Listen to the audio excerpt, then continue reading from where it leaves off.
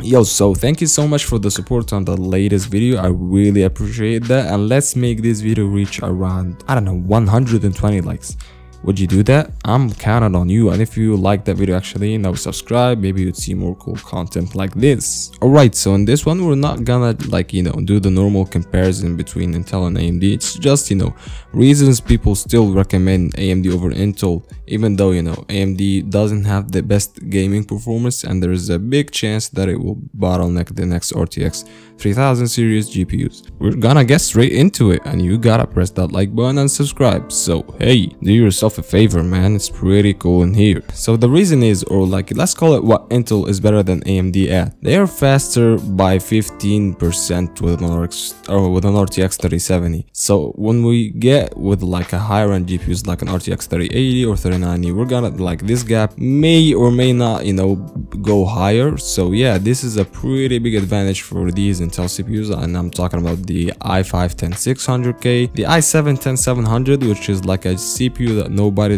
uh, mentioned but it's a really powerful and a capable CPU in some ways. And yeah, this is it. They are much better at the FPS intensive games, a game like Fortnite, Warzone. I will be looking at 240 frames per second, 360 even, and they are the go-to gaming CPUs for streamers like Bugha or whatever like pro gaming streamer you are watching right now. So yeah, this is like the biggest reason people still go for Intel because they provide really good performance at gaming uh, when you look at these FPS intensive games. And that's about it.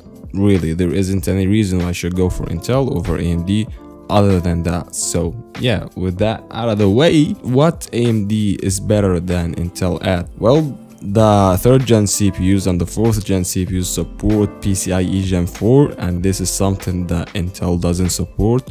Only the next gen Rocket Lake CPUs and its Intel 11th gen will support PCIe Gen 4. Um, you know, nevertheless, uh, PCIe Gen 4 versus PCIe Gen 3 will not affect the gaming performance that much or whatsoever. Uh, I mean, at least when we're looking at a GPU like an RTX 3070. Gen 3 versus Gen 2 is pretty much the same, so I'm pretty for Gen 3 versus Gen 4 will not do that difference, you know. Maybe when the RTX 3080, 3090 drops, uh, that gap will go bigger, but I don't assume so. But hey, this is a very strong reason, right? Well, no, actually, it's not that strong as I told you. But maybe the Gen 4 SSD uh, is a strong reason. But I think is Gen 4 SSDs are pretty darn expensive. Like the cheapest uh, 1 terabyte SSD that's M.2 Gen 4 is like for around 200 bucks. That's a lot of money, you know, for a high-end PC that doesn't perform that good at gaming you know when you compare it to intel they are cheaper. The amd cpus are pretty darn cheap.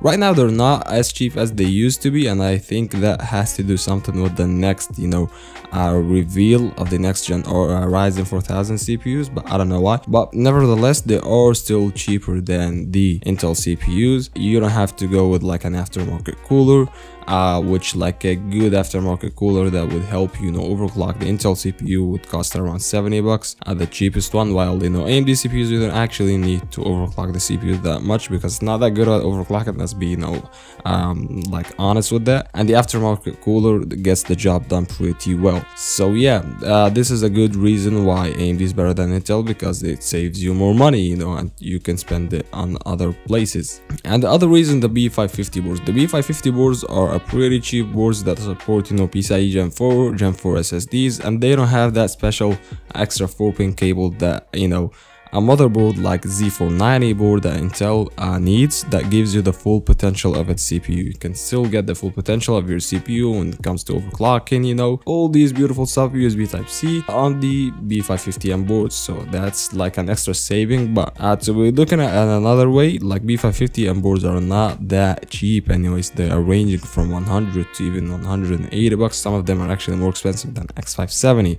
But again, you don't have to get this like really special power supplies that you know uh, needs an extra 4 pin so you can fully power your board to do overclocking. And the last reason AMD is so cheap. Again, we're getting back to the first point, I believe.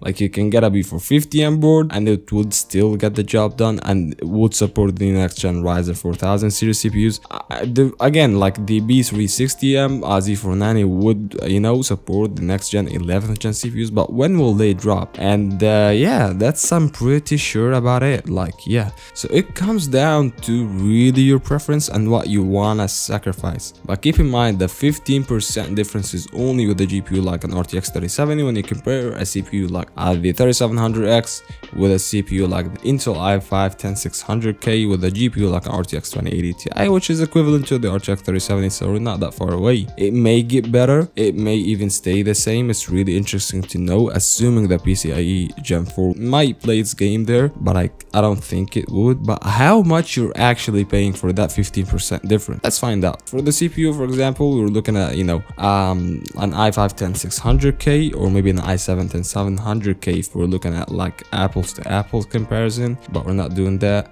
So 290 bucks for the 10600K 130 bucks for a board like the cheapest Z490 board so you can overclock the CPU 70% for a CPU cooler like the Be Quiet cooler or like the Cooler Master RGB liquid cooler whatever you want to go for. $100 for a power supply because you need that that power supply that has that extra 4 pin cable so you can you know unleash the full potential of overclocking. Uh, so which uh, brings the total cost to around 600 bucks and if you want to go with the 10700k it will get you to around 700 bucks but just keep in mind it doesn't give you that gaming performance. It just gives you that extra four threads that you might want in like cpu intensive uh, tasks like rendering or editing. While when you're looking at amd we're looking at 290 bucks for a cpu which is the ryzen 7 3700x which is in my opinion the sweet spot if you're not gonna upgrade to the ryzen 4000 series anytime soon or a cpu that would hold you fine until that in my opinion because the ryzen 5 3600 is pretty darn expensive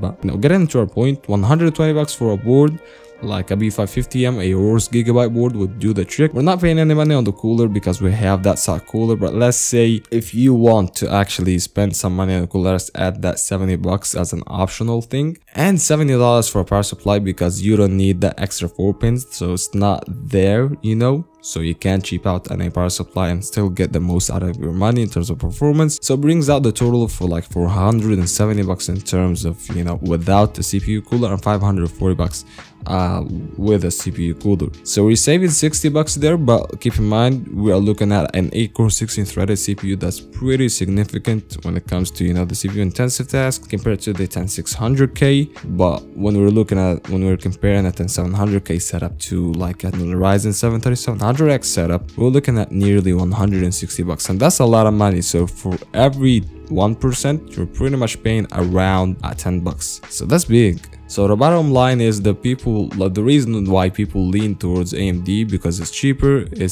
has a lot of features that Intel doesn't have yet, and also make sure that you'll be bottlenecked so damn hard if you decide to go for AMD and pair it with the GPU like an RTX 3090. Like really, you'd be really bottlenecked. But looking at the bright side, if you decided to game on 4K or 1440p, that bottlenecking would go away like really hard. Would be looking at 5% difference. And looking at the best thing possible, if you you're like on a really high rush and a hurry like amd will announce uh, their next gen ryzen 4000 series uh, somewhere in early october. So really though this comparison would fade away once Ryzen 4000 series drops and we would hope we'd find performance close to the Intel high-end CPUs. But let me know what do you think. I'm pretty sure we'd go near the Intel you know performance and we would finally like get a really stable solid 240 FPS a gaming experience on games like Fortnite, I don't know, Warzone. I'm pretty sure we'd get that. So yeah, with that said, I guess AMD is a better option because Ryzen 4000 series is on its way and maybe we would get like 10 to 15% more performance. I'm guesstimating 10% at the lowest, you know, estimation or at my lowest hopes. If you're not going to go with this like, you know, a PCIe Gen 4, which will not affect gaming that much again, um, but we're yet to see, or you don't want that Gen 4 SSD because it's so damn expensive and you're okay paying money on a CPU cooler and a, like a really reliable power supply, uh, but it's, you know, more expensive than what you would pay on an AMD setup. Uh, the Intel CPUs like really gives you a great gaming performance and pretty much the same gaming performance when it comes to editing. So it comes down to you if you don't want to wait for the Ryzen 4000 series. So with that said, if you like that video, press on that like button. And if it's actually like a helpful video for you, uh, let me know what CPU or what brand are you gonna go uh, for. Yeah, I'm looking forward to knowing that. And thank you for watching. I'll see you in the next one. Peace.